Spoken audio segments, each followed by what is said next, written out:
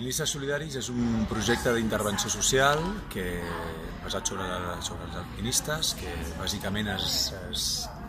aposta per la solidaritat del, de la gent del món de la muntanya i, i que pretén donar una eina de creixement a les persones que venen del carrer i que no coneixen la realitat del carrer perquè l'alpinisme té una sèrie de factors que fa que els menors que han viscut molta situació de tensió emocional responen molt bé en situacions esportives de tensió emocional.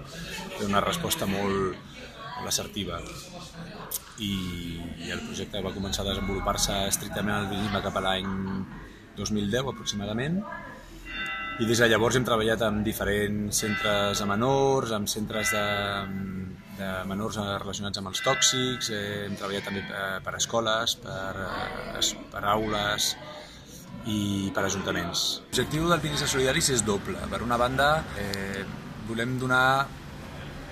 a conèixer la muntanya com a, com a eina pedagògica i de creixement. L'altra banda de, de, de l'interès és eh, fer que el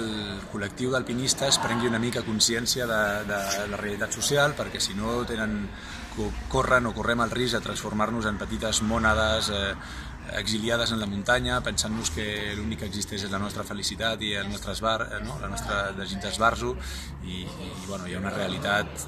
per sota de la muntanya que és la del carrer i la de la ciutat que, que no sempre és tan maca no? I, i, i que penso que els alpinistes s'han d'involucrar una miqueta i han de ser conscients d'aquest problema i, i això de tirar-lo endavant. Cal Sotada eh, tenim previst que arribin 70 persones, això ens hem calculat que ens donarà un,